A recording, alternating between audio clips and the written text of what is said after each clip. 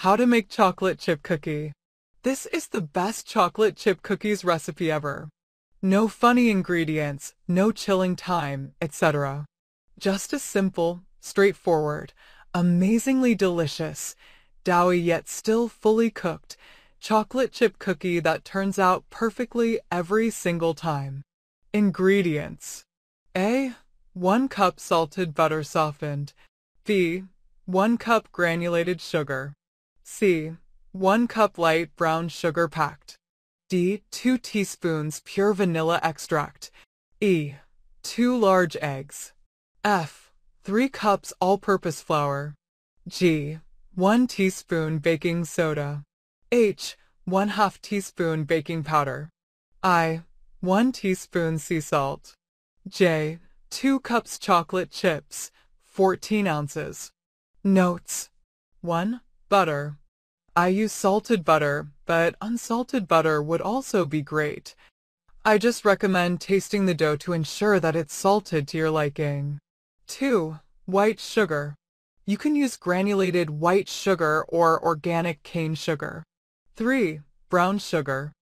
I use light brown sugar in this recipe for the best results. 4. Flour. I recommend using an unbleached, all-purpose flour to make these chocolate chip cookies. Many readers have used gluten-free all-purpose flour with excellent results. Or, try these gluten-free chocolate chip cookies. 5. Sea salt. I exclusively bake and cook with pure, fine sea salt. Sea salt is different than table salt, that is iodized, so if you use salt other than sea salt, I recommend testing the recipe first with 1 half teaspoon and then adjusting to your taste. 6. Chocolate chips. As you can see from the photos, sometimes I use chocolate chunks, chopped chocolate, or chocolate chips. It doesn't matter what you use, as long as you use 2 cups. Instructions 1.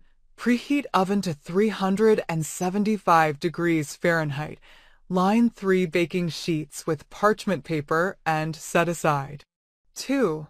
In a medium bowl mix flour, baking soda, baking powder, and salt. Set aside. 3. Cream together butter and sugars until combined. 4. Beat in eggs and vanilla until light, about 1 minute. 5. Mix in the dry ingredients until combined. 6. Add chocolate chips and mix well. 7. The chocolate chip cookie dough should be easy to roll and not sticky. It should not be dry or crumbly.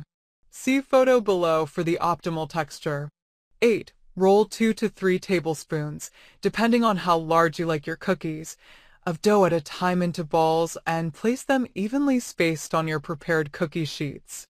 I know many people eyeball it when making cookies, however I highly recommend using a cookie scoop.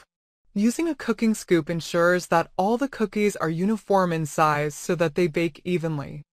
I love this stainless steel cookie scoop and use it every time I make cookies. 9. Bake in preheated oven for approximately 8 to 10 minutes. Take them out when they are just barely starting to turn brown. 10. Let them sit on the baking pan for 2 minutes before removing to cooling rack. How to store and freeze. Store these chocolate chip cookies in an airtight container at room temperature for up to 5 days or in the freezer for up to 2 months. Thanks for watching. Don't forget to like, comment, share, and subscribe to my channel.